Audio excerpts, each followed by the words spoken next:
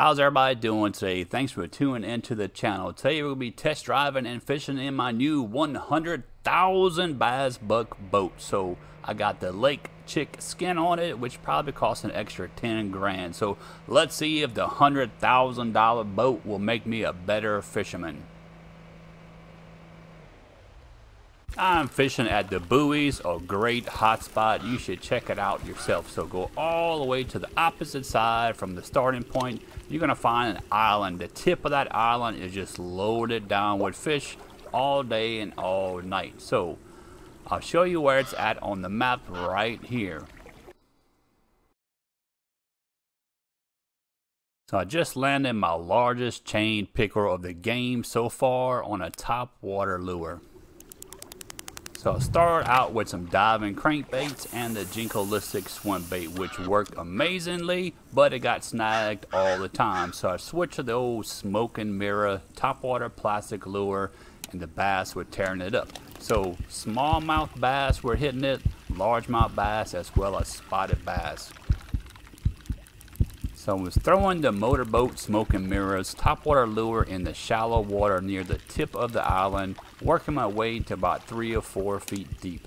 Normally when it hit around two to three feet deep, the spotted bass and largemouth bass would hit the lure.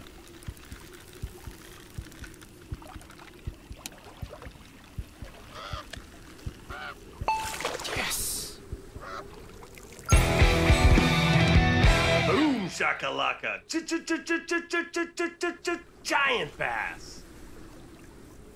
So I was able to land some 15 pound largemouth bass as well as many other trophy largemouth bass, some nice sized striped bass, so many white bass that I couldn't count them all.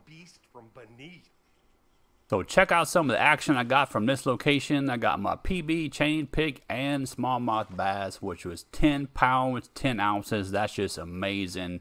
So big for a smallmouth bass. And that's why Lake Chick is the home, the land of the giants. So if you check out this spot, drop a comment below and let me know what you caught. So maybe you'll catch a legendary bass or your PB smallmouth bass, but there's plenty of trophy bass to be caught in this location.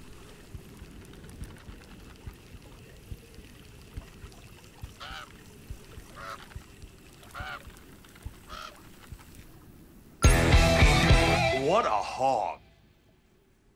So apparently the new boat must be working because I landed a bunch of 13, 14, and 15 pound bass. Some great action all day long. What a hog. So when you're facing the tip of the island on both sides, the left and right, all contain bass. Plenty of largemouth bass, but I kind of prefer the right side.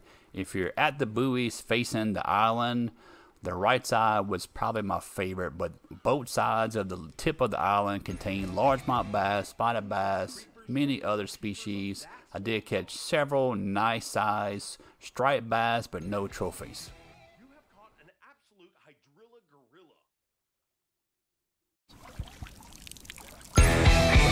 gorilla. What a hog. So I mainly use the Jinkolistic swim bait and some 3 inch rattle traps also use the top water baits and let's take a look at a couple of those that I use.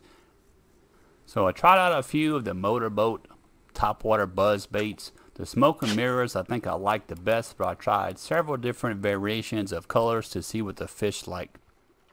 Fishing is like dating a beautiful woman. If you want to get lucky you have to give them what they want. Feel free to drop a comment below if you use any of these motorboat lures and had success. I hope you enjoyed this hotspot video at Lake Chick. So drop a comment below if you love this lake as much as I do. Keep on fishing, stay happy, and I'll see you next time.